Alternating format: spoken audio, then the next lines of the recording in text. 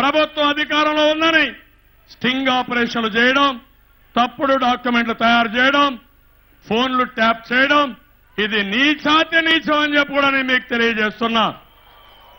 ఫోన్లు ట్యాప్ చేసి గవర్నమెంట్లే పడిపోయినాయి ఈ రోజు నేను ఒక వ్యక్తి కాదు ఆంధ్రప్రదేశ్ ముఖ్యమంత్రిని. మీ గౌరవాన్ని కాపాడే ప్రతినిధిని అలాంటినే నా ఫోన్ ట్యాప్ చేసే అధికారం ఈ కేసీఆర్కి ఎవరిచ్చారో మీరే చెప్పాల్సిన అవసరం ఉంది. మీరు మా మీద ఫోన్ ట్యాపింగ్లు చేసి ఫ్యాబ్రికేటెడ్ డాక్యుమెంట్స్ పెట్టుకొని నన్ను బెదిరించాలంటే నీ తరం కాదు. ఆ విషయం మీరు గుర్తుపెట్టుకోవాల్సిన అవసరం ఉంది.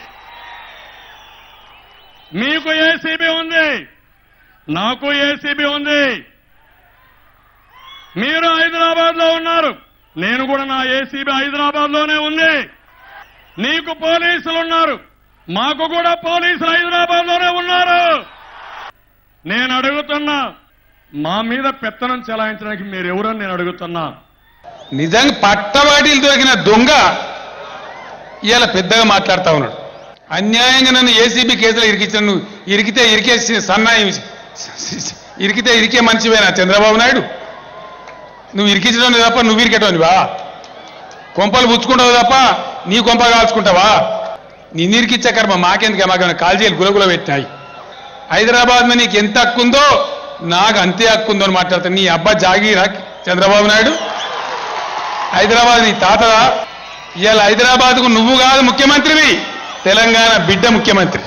నువ్వు దొంగతనం చేసి దొరికిపోయి నగ్నంగా పచ్చిగా పట్టుబడి ఇలా అరిసి పెడబొబ్బ పెట్టి గాయ చేసి ఏదో చేద్దామనుకుంటే ఇక్కడ భయపడే వాళ్ళు ఎవరు లేరు.